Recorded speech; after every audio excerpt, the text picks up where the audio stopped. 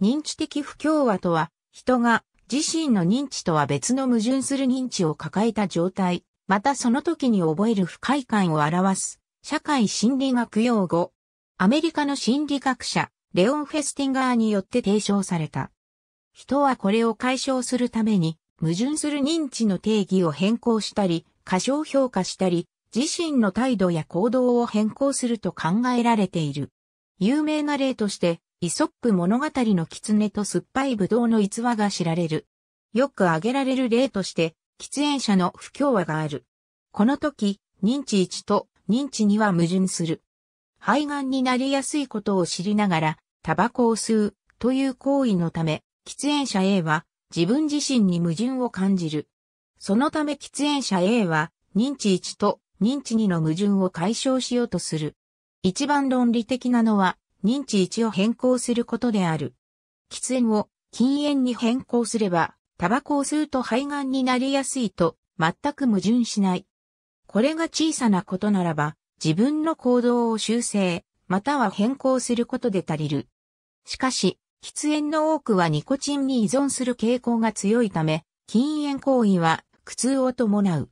したがって、喫煙から禁煙へ行動を修正することは多大な困難が伴い、結局は禁煙できない人も多い。その場合は認知人に修正を加える必要が生じてくる。喫煙者で長寿の人もいるを加えれば、タバコを吸うと肺がんになりやすいとの間の矛盾を弱めることができる。そして、交通事故で死亡する確率の方が高いを付け加えれば、肺がんで死亡することへの恐怖をさらに低減することができる。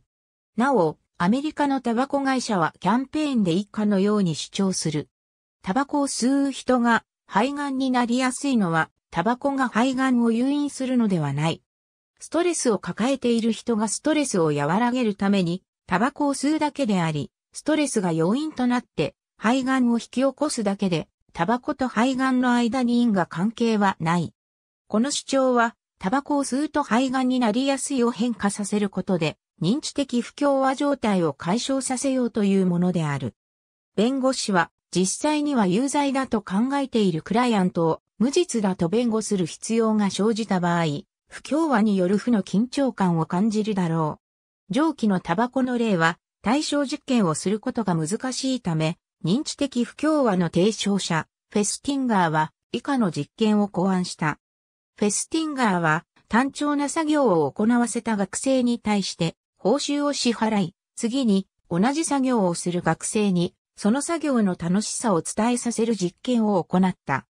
この実験では実際にはつまらない作業という認知と矛盾する楽しさを伝えるという認知から不協和が発生するが、報酬の高で楽しさを伝える度合いが異なることを確かめた。報酬が少ない学生は、報酬が多い学生よりも楽しさを伝える度合いが強く、割に合わない報酬に対して、本当は面白かったのかもしれないと、認知に修正を加えて、不協和を解消しようとする心理が強く働いているとした。ありがとうございます。